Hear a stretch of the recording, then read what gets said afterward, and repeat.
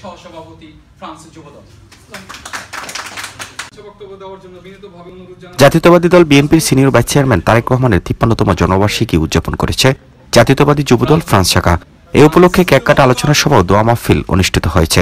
প্যারিসের ক্যাচিমার স্থানীয় এক রেস্টুরেন্টে আয়োজিত সভার সভাপতিত্ব করেন সংগঠনের সভাপতি আরিফ হাসান।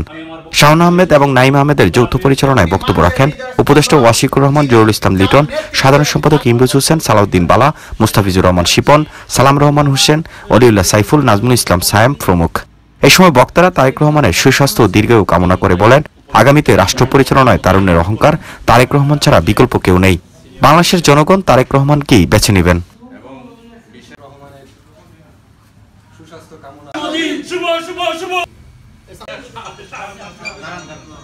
Ripeti quello